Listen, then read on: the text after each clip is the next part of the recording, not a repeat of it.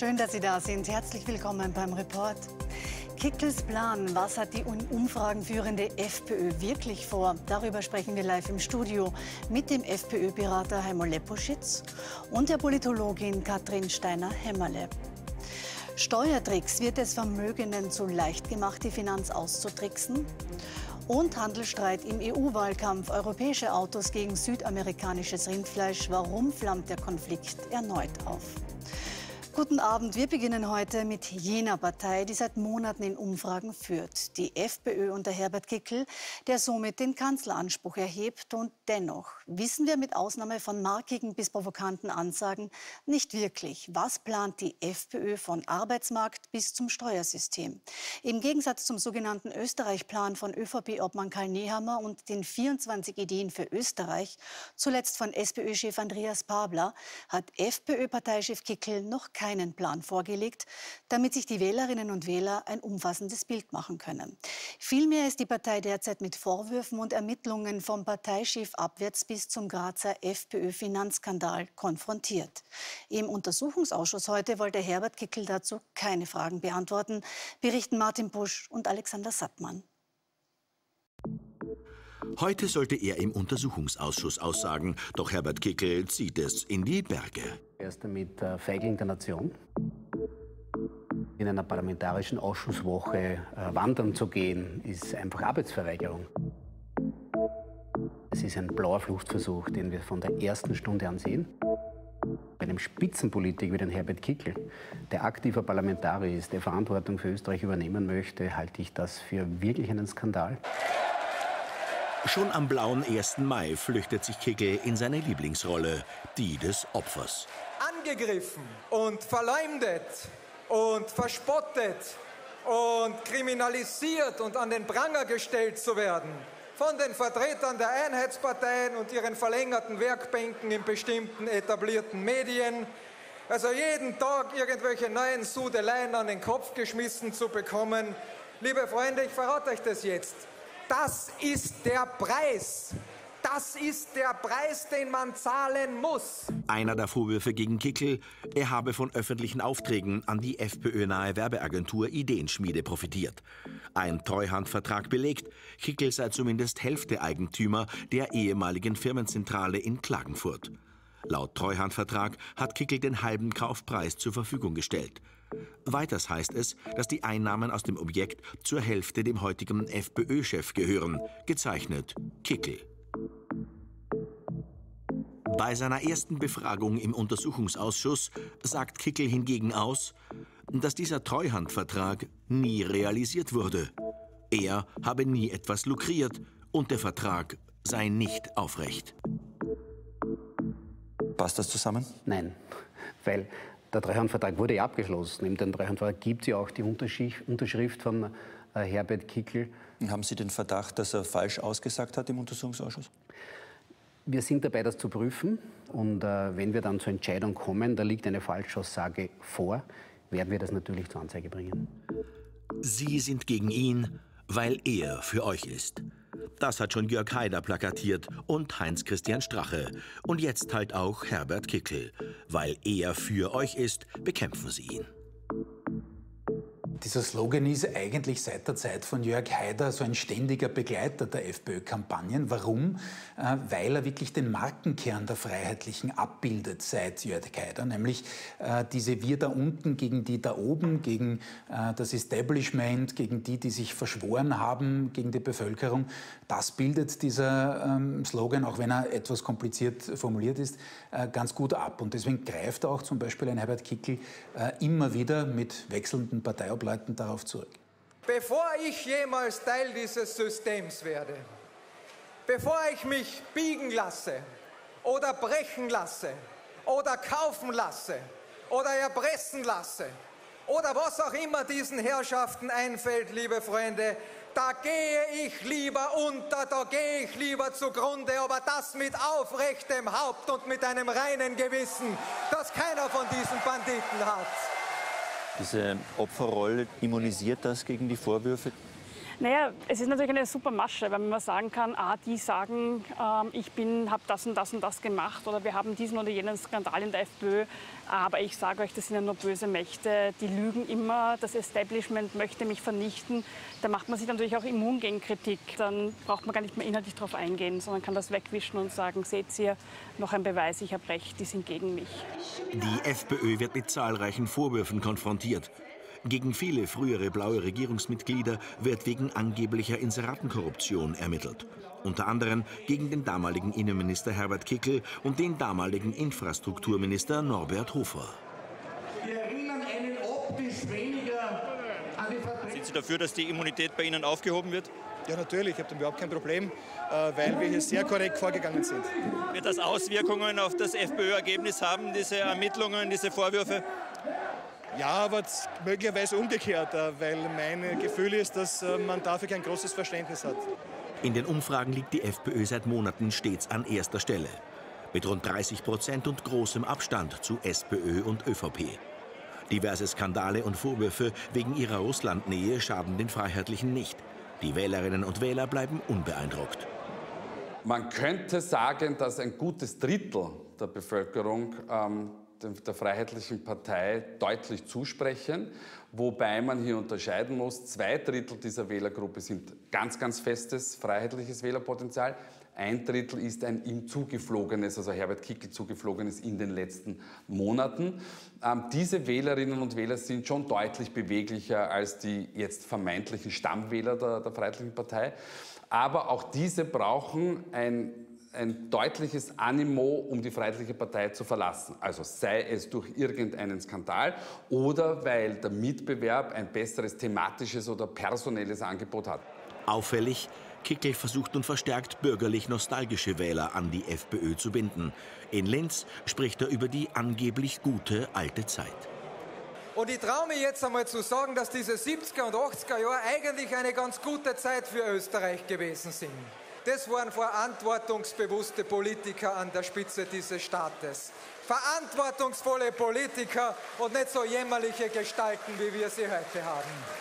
Dass ausgerechnet der blaue Übervater Jörg Haider gegen das verkrustete politische System der 80er Jahre angekämpft hatte, scheint die Kickel-FPÖ der 20er Jahre nicht weiter zu stören da verklärt sie auch etwas, was so gar nicht stimmt. Aber es kommt wahrscheinlich gut an, weil ich meine, dieses Gefühl, das kennt man ja selber aus der eigenen Biografie. Man glaubt immer, früher war alles besser. Und wenn man dann hört, dass ein Politiker sagt, ich mache so schön, wie du es früher gehabt hast, dann klingt das halt auf einer emotionalen Ebene sehr angenehm. Und darum geht's. Nehmen wir das Schicksal gemeinsam in unsere eigenen Hände, liebe Freunde bei den EU-Wahlen und bei den Nationalratswahlen. Und dann wird alles gut werden. Danke und Glück auf.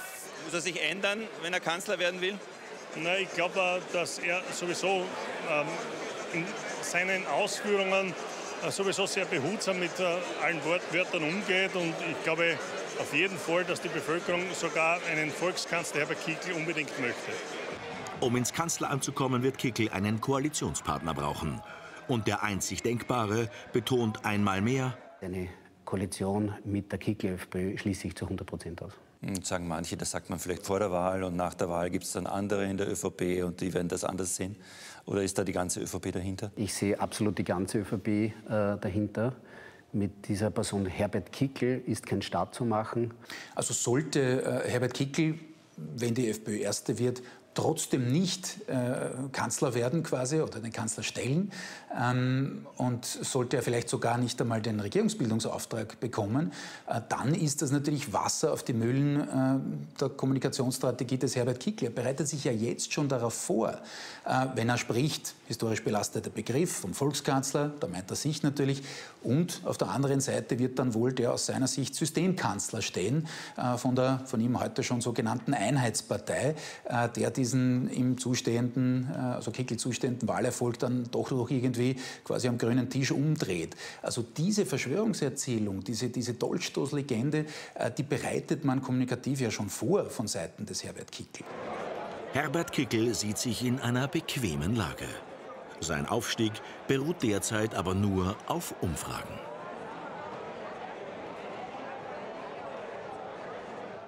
Viele Fragen, die wir heute gerne mit Herbert Kickl hier im Studio besprochen hätten. Er hat uns aber abgesagt. Und daher reden wir jetzt über mögliche blaue Pläne vor und nach der Wahl mit dem FPÖ-Berater und Kenner Heimo Lepuschitz. Danke fürs Kommen. Hallo. Und der Politologin Katrin Steiner-Hemmerle. Danke fürs Kommen. Guten Abend. Herr Lepuschetz, ich würde gerne mit Ihnen beginnen, weil Sie kennen die FPÖ wie kein anderer, waren Pressesprecher für FPÖ-Ministerien, auch im BZÖ, beraten aktuell die FPÖ mhm. und kennen daher Herbert Kickl sehr gut. Wir kennen ihn, haben gerade gesehen im Bierzelt, wortgewaltig bis radikal provokant in seinen Äußerungen. Wenn es aber um kritische Fragen geht, und ich meine gar nicht hier das Reportstudio, sondern den Untersuchungsausschuss heute, erleben wir ihn sehr schweigsam. Wie passt das zum Kanzleranspruch, heute lieber wandern zu gehen, als als Rede und Antwort im Parlament zu stehen? Na, zuerst muss ich einmal dem ORF gratulieren zu diesem Beitrag. Also das war ungefähr so ausgewogen wie ein Fußballmatch der Kampfmannschaft von Real Madrid gegen die U10 von Grammat Neusiedl. Aber um auf Ihre Frage zurückzukommen, Herbert Kickl hatte dem U-Ausschuss bereits äh, Frage und Antwort gestanden, genau zu den Themen, die auch heute wieder am Programm waren und die auch heute wieder nicht vom Thema des Untersuchungsausschusses äh, gedeckt waren. Also man hat zum Beispiel äh, einen äh, Grazer FPÖ-Abtrünnigen eingeladen zu einem Thema, wo selbst der Verfahrensrichter gesagt hat, das ist nicht Thema des Urschusses, aber man hat ihn trotzdem befragt. Das ist ja ein, ein Doppelspiel der ÖVP in ihrer, ihrem Panikmodus in den Umfragen, die nicht mehr wissen, wie sie ein- und aus sollen. Und wenn zum Beispiel der ÖVP, der Herr Hanger, wenn ich ihn gesehen habe, für eine Auskunftsperson heute heute für den Herrn Pascutini äh, Interviewtermine selbst ausmacht, na, dann weiß ich, wie das gespielt wird, wie das ist. Und ganz ehrlich, also ich muss Ihnen ehrlich sagen, würden Sie für den Herrn Hanger auf einen lange geplanten Urlaub verzichten, wo auch andere Menschen, Familie und Freunde dranhängen? Also ich mit Garantie nicht. Ich bin nicht FPÖ-Chefin und zum Vorwurf der Nicht-Ausgewogenheit, äh, natürlich war das ausgewogen, da sind nämlich nicht nur FPÖ-Politiker zu Wort gekommen. Es gab ja auch die Einladung, dass Herbert Kickl bitte heute ins Studio kommt. Aber er ist ja auf Urlaub, sonst wäre er ja im Urschuss. Ja, er war wandern wandern. Und natürlich die Generalsekretäre haben wir auch eingeladen, das muss man auch noch dazu sagen. Äh, der Vorwurf der Geringschätzung des Parlaments, was ist das auch aus politikwissenschaftlicher Sicht, aus Ihrer Beobachtung für ein Signal? Es geht ja um den Kanzlerumspruch, ähm, Verantwortung zu übernehmen, dieses Land zu führen. Gleichzeitig ist der Untersuchungsausschuss das höchste Kontrollorgan im Parlament was vor allem Herbert Kickl als Oppositionspolitiker ja interessieren müsste. Aber seit Sebastian Kurz wissen wir, dass es nicht so trivial ist, in den U-Ausschuss zu gehen und einfach schnell das abzuhandeln ohne gute Vorbereitung. Da zählt auch jedes Wort. Also falsche Aussage im U-Ausschuss, äh, wissen wir, ist strafrechtlich relevant. Und das ist natürlich auch heikel. Diese Situation hat er sicher versucht zu verhindern, vor allem weil ja andere Zeugen auch hier waren. Ich gebe Ihnen recht, dass äh, der Untersuchungsgegenstand und die Befragung zum Teil äh, überschießend waren, auch nicht mehr am Untersuchungsgegenstand eben orientiert. Äh, aber freiwillig antworten könnte man ja. Und gerade einem Politiker misst man ja auch, wie freiwillig er antwortet. Aber diese Miss Missachtung vom Parlament, das passt zum auch Konzept eines Volkskanzlers, weil Herbert Kickl möchte sich ja inszenieren eben gegen die Mächtigen, die im Parlament sitzen, als ein Kanzler, der direkt vom Volk legitimiert ist und wahrscheinlich auch in Zukunft mit einem autoritären Konzept nicht so sehr dann im Parlament Rede und Antwort steht, sondern eben regieren möchte. Da muss ich Ihnen kurz widersprechen. Also die einzige autoritäre Regierung der letzten Jahrzehnte war, das, war die jetzige Regierung, die schwarz-grüne Regierung. Hat, das haben wir nämlich gesehen, wie autoritär man schnell sein kann im Corona-Regime. Und es ist ja heute ein FPÖ, das ist ja fallen gelassen und nicht erwähnt worden, es ist ja heute ein FPÖ-Klubobmann im Urschuss gewesen, nämlich die rechte Hand des, des Herbert Kickl, der Klubobmann der FPÖ Niederösterreich, hat Rede und Antwort gestanden. Also ist, Zu einem ist, anderen Thema muss man dazu sagen. Ja, aber ist, der ist ja gekommen. Man kann nicht sagen, man missachtet es und dann vergisst man, vergisst man ganz zufällig im ORF zu sagen, dass er heute ein Klubbermann dort war. Also da muss man schon bei den Fakten bleiben. Ich versuche nur die Fakten ins Spiel zu bringen. Herr Lepuschitz, nein, haben wir nicht unterschlagen. Was aber wirklich Zufälle. bemerkenswert ist, nein, nein, nein, keine Unterstellungen bitte. Was nämlich bemerkenswert ist, die Transparenz ist Herbert Kickl offenbar schon wichtig. Er hat nämlich zuletzt, und das war beachtenswert, ein medizinisches Attest über seinen Gesundheitszustand veröffentlicht. Das ist ja was zutiefst Privates, muss mhm. man sagen. Aber in der Transparenz, wenn es um Geschäftstätigkeiten auch im Zusammenhang mit dieser Werbeagentur geht, könnte er auch alle Karten, alle Akten auf den Tisch legen und Rede und Antwort stehen. Warum nicht finanziell, aber was die Gesundheit angeht, schon. Aber das stimmt ja wieder nicht. Er hatte im letzten Urschuss genau auf diese Themen ja auch geantwortet. Sie haben das ja selber eingeblendet. Es gibt ja weitere Fragen. Weiter, weiter eingeblendet im, im Antrag. Im Beitrag. Und das ist ja auch nicht äh, Thema des U-Ausschusses. Und zu dieser Gesundheitsgeschichte muss man schon dazu sagen, woher kommt diese Gesundheitsgeschichte? Ein Redakteur des ORF Wien hat ein Posting gemacht auf, auf Twitter, also jetzt X, äh, und über, wo über den Gesundheitszustand des Herbert Kickl gerätselt wird. Also ein, ein richtiger Skandal, dass man einfach Gerüchte über die Gesundheit eines äh, Politikers streut, ohne einen einzigen Beweis, ohne einen einzigen Anhaltspunkt. Man, und dann sich ausredet, man hat ja nur den, den Autor dieses, dieses Bannen- und Pleitenpech- und Bannenbuches äh, zitiert. So, und das geht halt einfach nicht. Da muss man mal widersprechen. Muss ich wieder richtig stellen, das war in dem Buch ein Zitat und nicht einfach ein Ja, aber man hat das ja Posting. verbreitet. Es gibt ja keinen Grund dafür. Ne, Das, das geht einfach nicht über den Gesundheitszustand von Politikern zu spekulieren, gerade als öffentlich-rechtlicher Rundfunk geht nicht. Deswegen so, die können das ja anders sehen. Ich sehe das so. Eben, wie gesagt, Richtigstellung war eine Zitierung. Jetzt sind wir schon mitten in diesen Vorwürfen im Wahlkampf drinnen, äh, Frau Dr. Steiner-Hämmerle. Jetzt muss man dazu sagen, für alle gilt natürlich die Unschuldsvermutung. Es gibt aber Ermittlungen vom Parteichef abwärts. Es geht um angeblich Inseratenvergabe. Es gibt, das war heute Thema im Untersuchungsausschuss, wenn auch nicht zum Untersuchungsgegenstand passend, sei hier natürlich auch erwähnt, um die Grazer Finanzaffäre.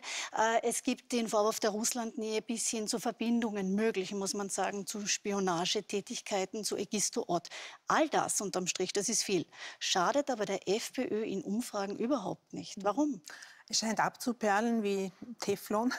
Ähm, eine Erklärung wäre, dass natürlich die FPÖ vor allem Unzufriedene anspricht, unzufriedene Bürgerinnen und Bürgerinnen, äh, die schon ein hohes Misstrauen haben gegenüber staatlichen Institutionen im politischen System. Und durch dieses Misstrauen, das wird ja fast noch durch die Skandale gestärkt, ob jetzt das die eigenen sind oder die anderen. Und die Täter-Opfer-Umkehr wurde ja auch gut dargestellt, schon im Beitrag. Die funktioniert dann natürlich. Ähm, das, das Interessante ist also, dass je höher das Misstrauen ist gegen, gegen Regierende, desto mehr profitiert die FPÖ. Und das haben wir schon nach dem Ibiza-Video in Umfragen gesehen. Hat man gefragt, ist das ein Problem einer Partei oder gar nur einzelner Personen, hat die größte Gruppe, 41 Prozent der Österreicherinnen und Österreicher, gesagt, nein, das betrifft alle Parteien. Also diese Zuschreibung dann konkret, wer hat jetzt was gemacht. Die Sachen sind sehr komplex, sehr verworren. Die Anschuldigungen gehen hin und her, da machen natürlich auch die anderen Parteien mit. Ähm, Das am Ende zahlt eigentlich ein auf das Konto der FPÖ, so paradox es jetzt klingt. Mhm. Und daher machen wir jetzt einen Schnitt und reden über Inhalte. Wir haben heuer den sogenannten Österreich-Plan von ähm, ÖVP-Chef Nehammer hier im Studio auch diskutiert und äh, in einem Beitrag natürlich darüber berichtet. Ebenso vor einer Woche die 24 Österreich-Ideen von Andreas Babler.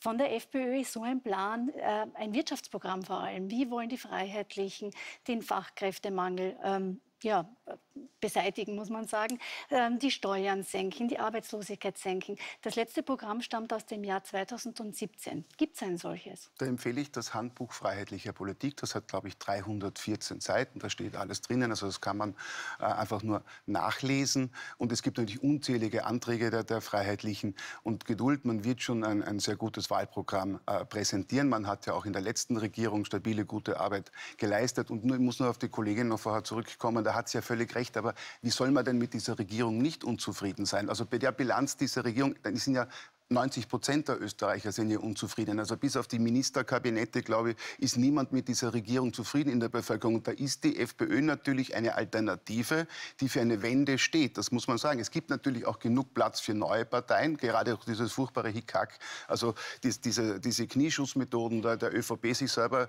äh, zu vernichten, wie die äh, beraten per Asterix, wenn es die Gallier sehen. Das muss man nicht verstehen, aber ist okay.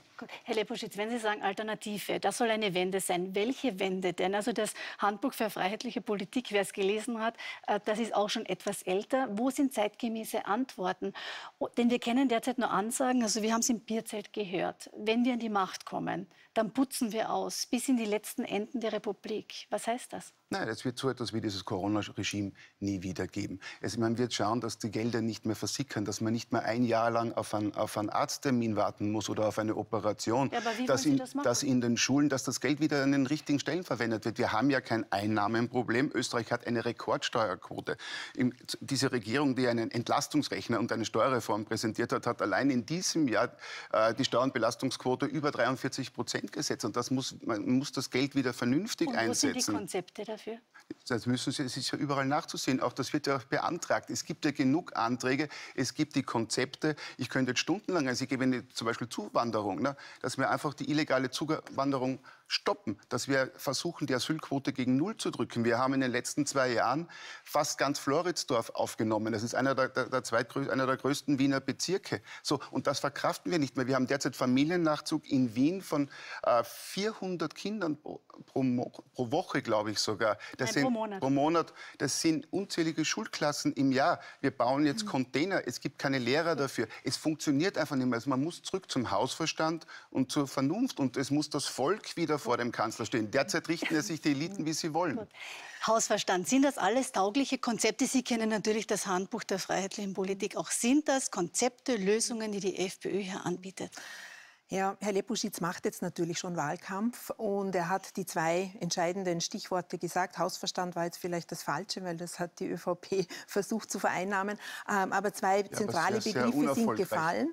Äh, das eine ist eben Migration, ein Thema, das die FPÖ schon über Jahrzehnte aufgebaut hat für sich. Das zweite war Corona, nicht weil eine Pandemie vor der Haustür steht, sondern weil es da natürlich um Stimmung geht. Viele Menschen erinnern sich noch an diese Zeit und sie äh, werden bewusst daran erinnert, an diese Gefühle äh, durch die FPÖ. Und das dritte Thema äh, ist natürlich Unterdrückung oder Freiheit, wahrscheinlich, wie es jetzt die Freiheitliche Partei nennen würde, nämlich die da oben unterdrücken. Und so, ob das jetzt die EU ist. Und das reicht offensichtlich, dieses Programm, um Stimmung zu machen, ohne viel mehr Antworten zu geben, weil die Antworten müssen ja einfach sein.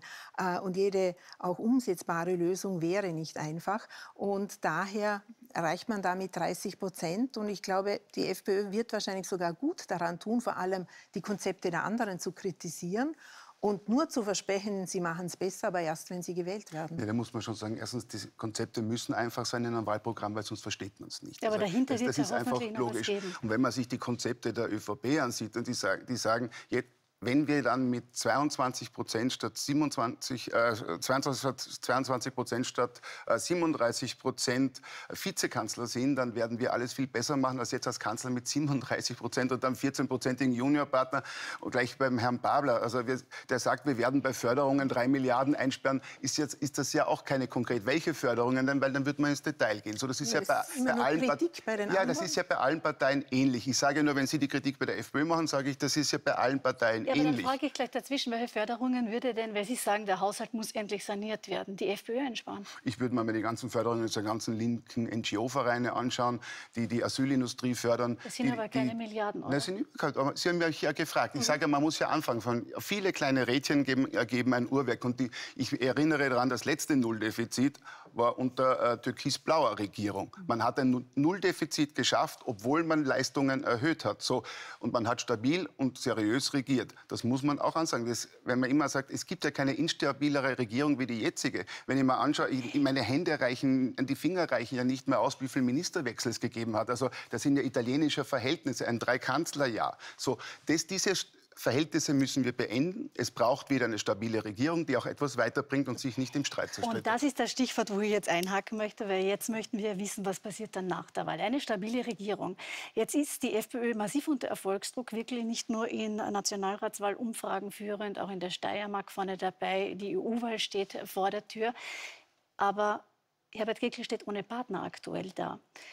Und ist es nicht auch selbst verschuldet? Wir haben ja die Wortmeldung Richtung jetziger Konkurrenten, aber möglicher Partner gehört. Also am Ende könnte ein Wahlsieg stehen, aber keine Regierungsverantwortung. Also ich erinnere nur daran an die Unterschriften aller ÖVP-Regierungsmitglieder. Sie, sie, gibt es als Minister nur mit Sebastian Kurz. Also da weiß man dann, was man von Nehammer und seinen Aussagen zu halten hat. Und ich glaube, wenn das Wahlergebnis so sein wird, wie die Umfragen sagen, das ist bei weitem noch nicht gegessen. Ich glaube, es wird in Wirklichkeit enger sein, als, als alle denken, auch jetzt schon. Aber wenn Herr Nehammer um die 20 Prozent wird, glaube ich, wird der Herr Nehammer keine Regierung mehr äh, verhandeln. Es ist die Frage, über, ob er überhaupt das EU-Wahldebakel überlebt, weil in der ÖVP entsteht das äh, Gerangel um Posten, Macht und Mandate. Wenn man verliert, werden alle nervös und wer ist schuld? Der Parteichef. Jetzt reden wir wieder über die anderen. Frau Steiner-Hämmerle, ist diese Hoffnung seitens der FPÖ berechtigt? Und noch eine Zusatzfrage, weil wir es im Beitrag gehört haben. Herbert Kickl spricht davon, er lasse sich nicht erpressen, brechen, da gehe ich lieber unter baut er da vielleicht schon vor, dass er dann keinen möglichen Partner hat? Mhm. Mit, von dem muss er ja auch ausgehen. Äh, zum derzeitigen Zeitpunkt, äh, alle möglichen Koalitionspartner haben ihn ausgeschlossen, die Mittelparteien und auch die kleinen Parteien. Ähm, aber er weiß oder wir wissen alle nicht, wer am Ende am Verhandlungstisch sitzt. Ich gehe auch davon aus, dass es natürlich Rücktritte geben wird und neue Parteichefs nicht an das Wort ihrer Vorgänger sich gebunden fühlen. Und Machterhalt hat oft zu, zu viel Pragmatismus geführt. Der Vorteil, der allerdings äh, für die FPÖ derzeit spricht, ist, dass ja auch die anderen anderen Parteien nicht zusammenfinden. Also wir haben ja die Situation, dass jede Koalitionsvariante ausgeschlossen wird und wahrscheinlich es auch zu einer Dreierkoalition kommen muss gegen die FPÖ, die ohnehin dann wahrscheinlich instabil ist. Aber ich muss Sie schon erinnern, die Regierungsbeteiligung der FPÖ auf Bundesebene hat nie länger wie eineinhalb Jahre gedauert und die vielen Wechsel auch bei dem Kanzler, da hatte die FPÖ schon auch ihren Anteil daran. Da haben Sie, da haben Sie völlig recht, da gebe ich Ihnen zu. Aber Ibiza ist jetzt, glaube ich, bis dahin war die Regierung stabil und das war natürlich ein Fehler, auch, auch ein Fehler der ÖVP, diese Regierung aufzukündigen. Aber ich erinnere nur daran, man wollte niemals mit Jörg Haider koalieren. Man wollte niemals mit HC Strache koalieren. Und jetzt will man niemals mit der, mit der FPÖ koalieren. Also das würde ich nicht allzu ernst nehmen. Äh, ich glaube, dass nach den Wahlen wenn die FPÖ stark genug ist, dafür muss die FPÖ natürlich stark genug sein, äh, wird man der FPÖ kaum vorbeikommen. Auch, Entschuldigung, nur ein Satz noch, auch weil es natürlich niemand riskieren kann, wenn man über ein Drittel der Wähler ausgrenzt dann die anschließenden Wahlen in der Steiermark, wo man dabei ist, bei 20 Prozent nur zu liegen. Und in Wien, da wünsche ich viel Spaß den, diesen Parteien, der Einheitspartei, die die FPÖ ausgrenzt und ihre alles, Wähler speziell. Alles Fragen, die wir aber erst auch mit der Frau Steiner-Hämmerle nach dieser Wahl beantworten werden können. Ich sage danke für Ihren Besuch im Studio ebenso. Danke Dank. fürs Kommen. Ja, und in unserer nächsten Reportage und Recherche geht es um Steuerakten, wie heute auch im Untersuchungsausschuss, aber diesmal um ganz andere. Und die Frage, werden Vermögende in Österreich von der Finanzen nicht streng genug kontrolliert und profitieren sie von Steuerschlupflöchern öfter als das andere. Jüngstes Beispiel dazu der Privatjet des mittlerweile insolventen Rene Benko, der mit 9 Millionen Euro Steuergeld mitfinanziert wurde. Aus einem vertraulichen Bericht des Finanzministeriums, der dem ORF-Report, dem Standard und dem Falter vorliegt, gehen noch ganz andere Beispiele hervor, berichten Stefan Dauber und Jürgen Klatzer. Milliardäre und Millionäre. Jährlich veröffentlicht das Wirtschaftsmagazin Trend eine Liste der 100 reichsten Österreicher und Österreicherinnen. Eben das Who is Who der Reichen und manchmal Schönen. Das Ranking aus dem Jahre 2016 war auch im Finanzministerium begehrt.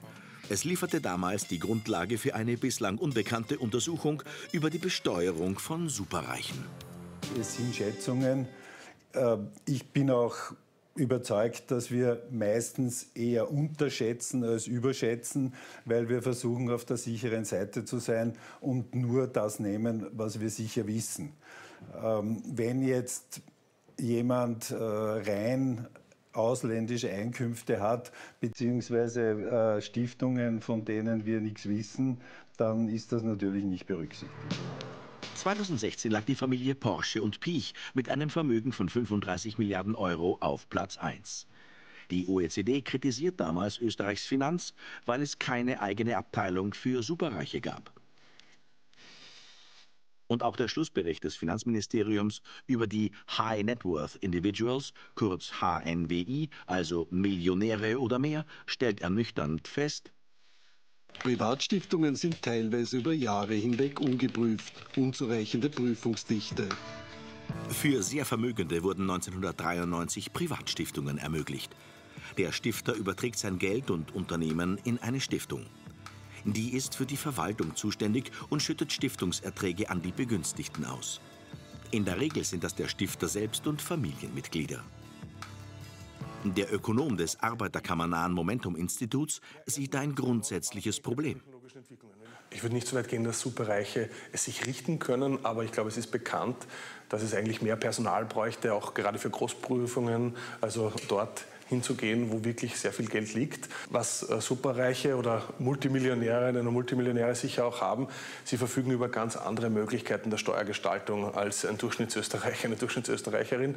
Ähm, das fängt damit an, dass man quasi erst ab einem bestimmten Vermögen überhaupt Zugang hat zu bestimmten Rechtsformen, zu bestimmten Steuergestaltungsmöglichkeiten, wie zum Beispiel Stiftungen. Katina Leitner beim Rundgang durch die Feller GmbH. Das Kabelunternehmen ist im Besitz einer Familienstiftung. Für die Präsidentin des Stiftungsverbandes ein Musterbeispiel. Den Vorwurf der mangelnden Transparenz kann sie nicht nachvollziehen. Die österreichische Privatstiftung ist eine rot-weiß-rote Erfolgsgeschichte. Sie ist gegenüber der Finanzbehörde völlig transparent. Sie erstellt ja jedes Jahr einen eine, eine, Jahresbilanz, also einen, einen, Jahresabschluss, der wird vom Stiftungsprüfer auch geprüft und so der Finanzbehörde samt dem Lagebericht und sogar der Stiftungszusatzurkunde übermittelt. Das heißt, die Steuerbehörde verfügt über alle Unterlagen, um die Privatstiftung umfassend prüfen zu können. Wenn sie denn prüft. Denn der Schlussbericht der Finanzministeriumsuntersuchung hält 2019 dazu fest. Zusammenhängende und abgestimmte, sinnvolle steuerliche Außenprüfungen der natürlichen Personen und der Privatstiftungen fanden in diesem Bereich bisher nur in Ausnahmefällen statt. Der Schlussbericht war auch im KOFAG-Untersuchungsausschuss Thema. Finanzminister Magnus Brunner war dieser vor zwei Wochen aber nicht bekannt. Schriftlich verweist das Finanzministerium darauf, dass 323 von mehr als 3000 Stiftungen in den vergangenen drei Jahren neu geprüft wurden, mittlerweile mehr Prüfer im Einsatz sind und auf eine neue Struktur im Bereich der Finanzämter. Es wurden die auf Basis der OECD-Empfehlungen vom Projekt ausgearbeiteten Maßnahmen umgesetzt. Die Zuständigkeit für die Prüfung aller Stiftungen wurde im Finanzamt für Großbetriebe gemeinsam gebündelt. In der steuerlichen Gestaltung, auch das zeigt die Untersuchung, herrscht Kreativität. Durch komplexe Konstruktionen konnten in vielen Fällen Gewinne mit Verlusten aus anderen Gesellschaften ausgeglichen werden. In zwei Fällen gab es sogar eine Steuerrückzahlung, obwohl die Personen zu den Top 30 Vermögenden in Österreich gehörten. Wer sehr viel Geld hat, kann sich auch sehr guten Rechtsbeistand, sehr gute Steuerberaterinnen und Steuerberater leisten, die es dann wiederum auch äh, dem Staat schwerer machen, hier wirklich durchzublicken oder eben auch durchzugreifen, wenn es notwendig sein sollte. Also ich bin nicht sicher, dass wir hier wirklich mit einem ähm, Gleichgewicht zu tun haben. Naturgemäß anders sieht das Peter Bartos von der Steuerberatungs- und Wirtschaftsprüfungskanzlei BDO. Die Steuerprivilegien der Privatstiftungen seien weitgehend abgeschafft. Unternehmen, die jahrelang nur Verluste schreiben, gelten als Liebhaberei und würden streng geprüft. Vom rechtlichen Rahmen ist es so, dass das alles immens dicht ist. Ja, wie gesagt, dass Einzelfälle passieren, wenn jemand nicht nach den Regeln hält, wird so sein, dass manche Menschen sagen, ich würde die Steuer nicht zahlen und du alles, ja, ob da irgendwie rauszukommen. Wird es genauso geben? Ist das Ganze zu empfehlen? Meines Erachtens nein, weil eins sieht man schon, einem, wenn man dort erwischt wird, ja, das ist keine lustige Geschichte und da wird dann gleich einmal ordentlich zugelangt. Doch immer klappt es eben nicht. Im Zuge des Untersuchungsausschusses wurde bekannt, dass Rene Benko seinen Privatjet über ein Verlustbeteiligungsmodell vom Steuerzahler mit 9 Millionen Euro mitzahlen hat lassen. Benko findet sich schon 2016 im Trendranking der Reichen auf Platz 12. In der Untersuchung des Finanzministeriums stößt sein Flieger auf Argwohn. Die Empfehlung damals Gesamthafte Prüfung der Steuernummern durch ein Prüfteam. Anschlussprüfung 5. Heißt Steuerprüfung zeitnah empfohlen. Konsequenzen sind ausgeblieben. Für den Steuerexperten unerklärlich. Die österreichische Finanz hat ja Autos schon nicht sehr gern, aber aus den, aus den Prüfungen kann ich Ihnen auch versichern, in dem Moment, wo ein Flieger ins Spiel kommt, ja, gehen eigentlich normalerweise immer alle Sirenen und alle Warnsignale hoch. Das System Benko, äh, das darin bestand, dass man äh, Luxusausgaben, Luxusaufwendungen als Betriebsausgaben steuerlich absetzbar gemacht hat. Da ist dort ein Chalet und dort eine Villa und alles angeblich zu Repräsentationszwecken. Aber wenn man genauer hinschaut, dann hat er dort mit seiner Familie gelebt und gewohnt und das aber als Betriebsausgabe abgesetzt. Wenn man hier aber nicht genug Personal hat, um dem wirklich nachzugehen, ja, dann werden es äh, die Superreichen immer wieder probieren, damit durchzukommen. Für die Präsidentin des Stiftungsverbandes bringt die Causa Benko Privatstiftungen zu Unrecht in Misskredit. Durch die öffentliche Debatte wird bekannt, dass hier zwei Privatstiftungen eine Rolle spielen. Und ja, hier fällt auch ein Schatten auf diese beiden Stiftungen. Aber das soll nicht den offenen Blick auf das großartige Wirken dieser rot-weiß-roten Erfolgsgeschichte Privatstiftung in Österreich trüben. Das Steuersystem sei über die Jahrzehnte zu komplex geworden. Der Trend-Chefredakteur empfiehlt eine Radikalkur auch für mehr Steuergerechtigkeit. Sie können sich aus meiner Sicht insofern richten, dass äh, das extrem komplexe Steuerrecht in Österreich, das bei jeder Materie Dutzende Ausnahmen kennt, ihren Beratern die Möglichkeit gibt, äh, sehr komplexe Steuerkonstruktionen äh, zu erfinden und auf der anderen Seite der Aufwand für die Prüfer, sich das genau anzuschauen, extrem hoch ist. Würde man da massiv entrümpeln, glaube ich, dass das Steueraufkommen sicher nicht sinkt und das System insgesamt aber gerechter wird. Anfang Juli erscheint im Trendmagazin die mittlerweile 30. Ausgabe der Liste der österreichischen Topvermögenden. Das Finanzministerium hat also bald eine neue Datengrundlage. Nicht nur um Steuerfragen, sondern auch um strittige Handelsfragen geht es aktuell im EU-Wahlkampf.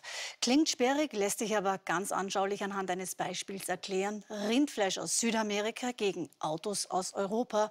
Leichter, sprich mit weniger Zöllen möglich machen. Soll das das Mercosur-Abkommen zwischen der EU und Südamerika? Soll, denn das Abkommen ist umstritten. Und warum? Was dafür und dagegen spricht, das erklären uns jetzt Laura Franz und Helga Lassan anhand der Positionen der NEOS und der Europäischen Linken, mit deren Spitzenkandidaten zwei alte Bekannte im Wahlkampf wieder aufeinandertreffen. Zwei Märkte, zwei Meinungen. Der Report trifft den EU-Spitzenkandidaten der NEOS, Helmut Brandstätter, und den Kommunisten und Präsidenten der Europäischen Linken, Walter Bayer. Die beiden traten schon vor Jahrzehnten als Studentenpolitiker gegeneinander an. Brandstätter, langjähriger Journalist und Herausgeber und seit fünf Jahren Nationalratsabgeordneter, hat seine Kindheit hier in Wien-Mariahilf verbracht. Mit dem Naschmarkt verbindet er schöne Erinnerungen. Für mich war es als Kind schon faszinierend, hierher zu kommen äh, und als kleiner Bub sozusagen die vielen unterschiedlichen Waren zu sehen, ähm, auch Obst und Gemüse aus fernen Ländern, das wir uns damals vielleicht nicht leisten konnten, aber es einfach zu sehen, war schon großartig. Walter Bayer, jahrelang Vorsitzender der KPÖ, steht mittlerweile in Österreich auf keiner Liste mehr, sondern ist bei der EU-Wahl Spitzenkandidat der Europäischen Linken, ein Zusammenschluss von unterschiedlichen Linksparteien. Er ist hier am Karmelitermarkt aufgewachsen und zeigt sich enttäuscht von dessen Entwicklung. Also man sieht vor allem den Neoliberalismus. Es ist äh, ein Markt, der früher ein sehr volkstümlicher Markt war mit vielen Marktstandeln. Und jetzt ist es halt hauptsächlich die Gastronomie, die die Umsätze bringt. Wirtschaftswachstum durch globalen Handel. Das ist auch Thema im EU-Wahlkampf. Zum Beispiel das Mercosur-Abkommen mit Brasilien, Argentinien, Uruguay und Paraguay. Seit 1999 wird über die Abschaffung der Zölle verhandelt. Die EU möchte Autos, Maschinen oder auch Pharmaprodukte exportieren und landwirtschaftliche Güter wie Rindfleisch und Soja einführen. Dafür soll ein Abkommen sorgen, so wie es bereits mit Kanada und Neuseeland existiert. Da läuft eine ganz komische Polemik gegen Mercosur. Ich bin deswegen für Handelsabkommen, weil wir ohnehin ja den Handel brauchen. Wir brauchen ihn und die anderen Länder brauchen auch. Und wir sind für wertebasierten Handel. Also natürlich sind wir dafür, dass es keine Kinderarbeit geben darf, aber auch die Klimaziele müssen erreicht werden. Deswegen wollen wir zum Beispiel, dass auch bei Mercosur drinnen stehen muss, dass die Pariser Klimaziele erreicht werden. Wenn wir aber keinen Handel etwa mit Südamerika machen, dann können die sagen, ja, dann brauchen wir leider den Regenwald, dann wird er weiter vernichtet. So können wir einen gewissen Druck ausüben. Die Wahrheit ist, dass die Freihandelsabkommen die Landwirtschaft in Europa äh, ruiniert haben. In den letzten 50, 15 Jahren sind 5 Millionen äh, Bauern die, und Bäuerinnen, die ihre Wirtschaften aufgegeben haben. Und darüber hinaus muss man sagen, dass die Freihandelsabkommen sowohl in den Partnerländern im globalen Süden als auch hier sozial und ökologisch sehr negative Auswirkungen gehabt haben. Hier am Karmelitermarkt, wo auch Kleinbauern ihre Produkte anbieten, zeigen sich diese beiden Brüder, die jeden Donnerstag hier stehen, auch nicht begeistert über den verstärkten Handel mit anderen Kontinenten. Die haben unseren Bauern und unseren Gärtnern die Preise zusammen. Und das geht es. Und entweder wollen wir anständig arbeiten und anständig mit den Leuten umgehen oder wollen wir es ruinieren. Die Großfirmen, wie es alle sind, wollen am liebsten keinen Bauernmarkt mehr. Nur mehr eine Industrie und ich glaube, auf das will kein Mensch haben. Die Leute wollen ja auch irgendwie im Winter Erdbeeren. Ja, genau. die, die, die, das brauche ich nicht. Dass ich dann tausende von Kilometern fliegen lasse, Erdbeer rein ist sinnlos. Harald Oberhofer vom Wirtschaftsforschungsinstitut sieht Freihandelsabkommen grundsätzlich positiv, da sie für mehr Angebot und geringere Preise sorgen. Auch Mercosur habe seine Vorteile. Die südamerikanischen Wirtschaftssysteme haben noch keine Freihandelsabkommen mit den großen Blöcken in der Welt. Europa könnte da das erste sein. Das könnte auch dem entgegenwirken, dass mittlerweile schon China der wichtigste Handelspartner für die Mercosur-Staaten ist. Wir könnten dort sozusagen unser Risiko diversifizieren durch andere Handelspartner. Ich denke, das ist der größte Vorteil. Und der andere Vorteil wäre, dass man sieht, es gibt eine strategische Überlegung Europas, auch Interessen, auch wirtschaftliche Interessen weltweit voranzutreiben. Und das kann man mit solchen Abkommen auch befördern. Handelsabkommen sollen auch den Wettbewerb anfachen, indem mehr Konkurrenz am Markt ist. Hier am Naschmarkt ist das Angebot bunt und international. Und dafür ist der Markt auch bekannt. Hat man auch hier Ängste vor billigeren Produkten durch das Mercosur-Abkommen? Hätte das Auswirkungen auf Sie oder auf, auf Landwirtschaft? Nicht wirklich, nein. Ja, es gibt zum Beispiel peruanischen Spargel, der ist schon vor uns am, im Supermarkt. Ne? Äh, der ist billiger, aber von der Qualität her können die uns nicht einmal den kleinen Finger reichen. Wir müssen auch die hohen Preise an die Kundschaft weiterleiten und das, das macht keinen guten Eindruck. Aber wenn wir aus allen Ländern, also aus vielen Ländern importieren können, natürlich könnte die Preise runtergehen. Das wäre super. Auch das Schokoladengeschäft Chocolat ist auf den Handel mit Südamerika angewiesen. Denn um diese aufwendig verzierten Schokoladentafeln und Pralinen herzustellen, braucht es eine sogenannte Rohstoffschokolade, die aus südamerikanischen Kakaobohnen gemacht wird. In Österreich wächst die Frucht nicht. Das Abschaffen von Barrieren wäre in jedem Fall auch für uns vorteilhaft. Jede ähm, Barriere, die quasi zwischen äh, den Produzenten und unsere fertigen Produkte kommt, ist natürlich ein Hindernis. Das heißt, das wäre auch in unserem Sinn, ja. Österreich gehört zu jenen EU-Ländern, die Mercosur bisher immer abgelehnt haben. Ein wichtiger Grund, die Sorge, dass die heimische Landwirtschaft massive Nachteile erfährt. Aber auch der Klimaschutz spielt eine Rolle. Einerseits stehen die weiten Transportwege unter Kritik, aber auch die Arbeitsbedingungen und fehlenden Umweltstandards der Mercosur-Staaten.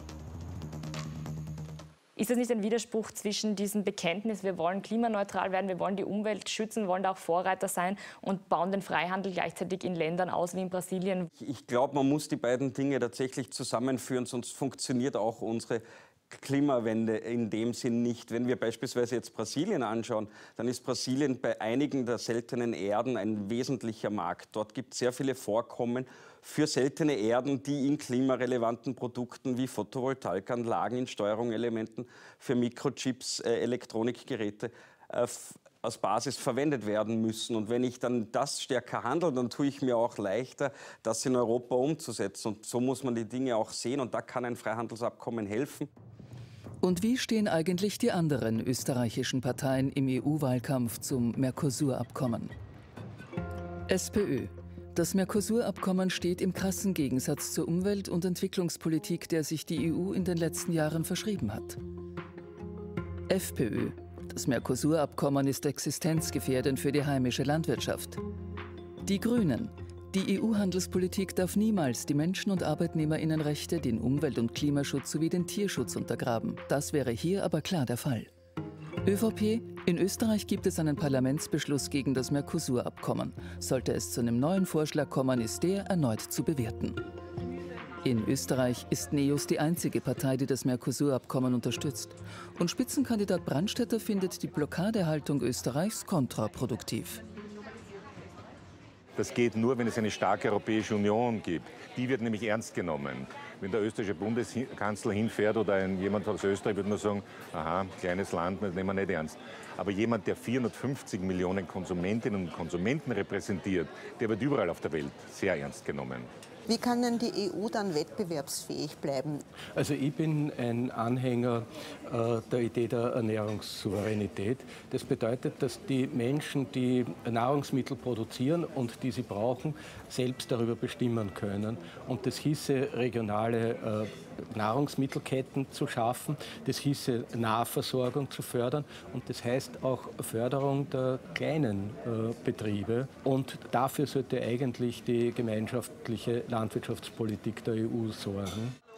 Zwei Märkte, zwei Politiker, zwei Weltbilder. Nicht nur die kulinarischen Vorlieben hier am Markt trennen sie.